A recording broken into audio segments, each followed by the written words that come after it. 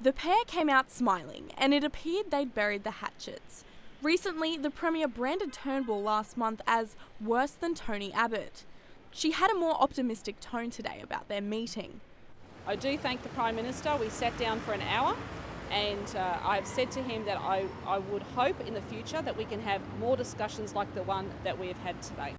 But as for the Cross River Rail project, Premier Palaszczuk will be meeting with her Deputy Premier and Transport Minister Jackie Trad and Director General to discuss how to move forward. It needs more work, and that's and, and look, that is not. Um, I'm not making a criticism of it, I'm just stating a fact. Some of those key issues identified by Infrastructure Australia include integration with other transport systems and land use opportunities. The pair also agreed to work cooperatively with Category D funding for people affected by Cyclone Debbie and discussed the national energy policy.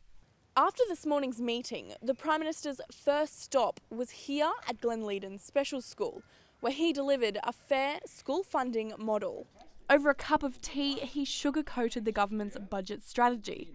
It is fair, it is needs based. So schools and students with the greatest needs get the greatest funding.